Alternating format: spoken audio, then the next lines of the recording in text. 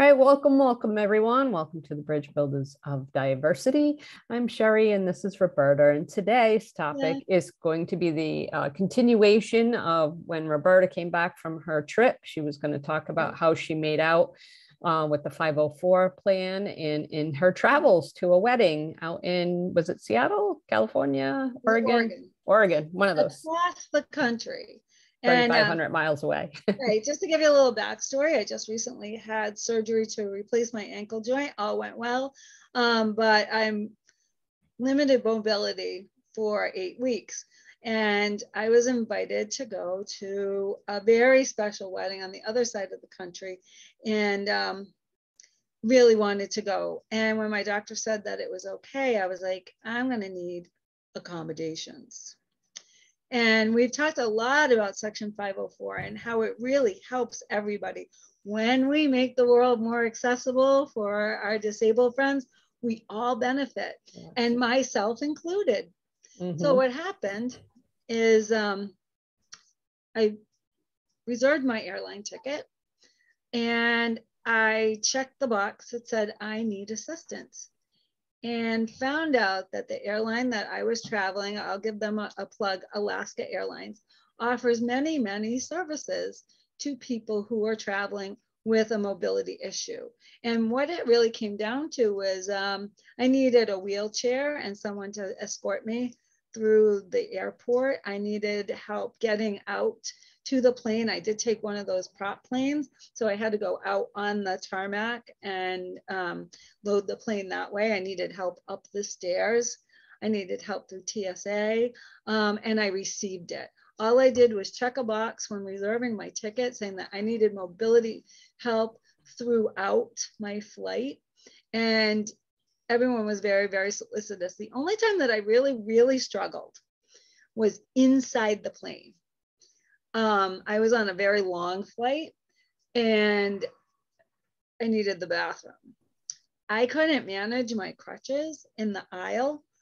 So hmm. I had to just, and I'm lucky that I was able to do this because I'd been given clearance to put my foot down with 25% pressure. Um, and I just sort of limped along using the seats.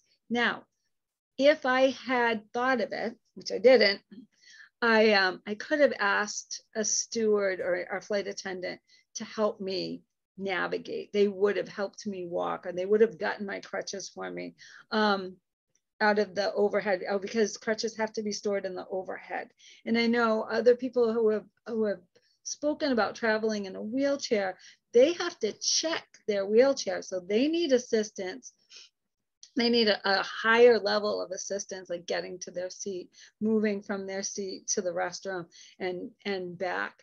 And that assistance is given um, what, very well in, in my experience. I only had one person assisting me and i don't know if it was her first day or her last day um, but just kind of pushed my wheelchair to where i needed to be and left um, didn't ask me if my if my family was with me or if I needed help with my back, which everyone else heretofore had done. Um, I so like I said, it right. could have been our first day, it could have been our last day too. Right. So, but that kind of behavior with somebody who had developmental delay may not be appropriate. Probably would have been a disaster if, right. if this were a person requiring a higher level of assistance or traveling alone. Say somebody has a cognitive impairment. There was even there, but there was a box to check for that. So Sherry, I feel like I would have gotten a higher level of assistance had I checked that box saying, you know, I need Okay. Yeah, because I've never had any problems traveling with my son through the airports. Um, you know, even last minute when I didn't know there were boxes to check, and I just go up to the counter and tell them, and you know, he would be able to get on, uh, you know, get on the plane first uh, when they're loading and stuff like that.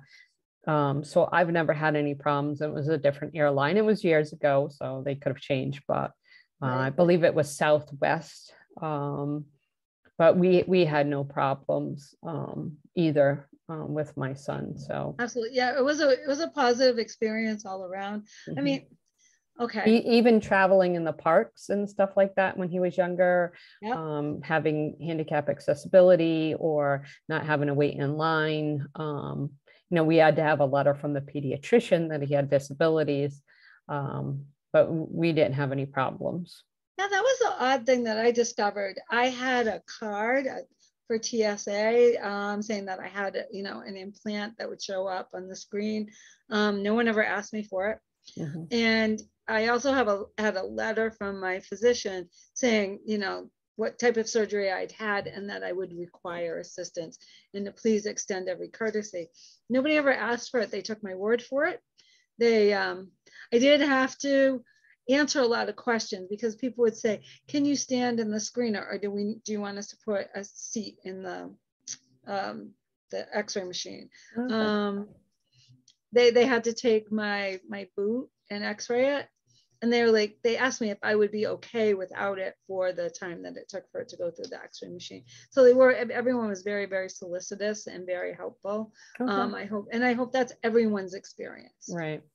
Yeah, I I haven't had any issues traveling with Nathan um, or even in amusement parks or anything like that. I've never had any problems. So don't forget, one, I'm Sherry. I'm a mom of a child with Down syndrome. Roberta's a special educator.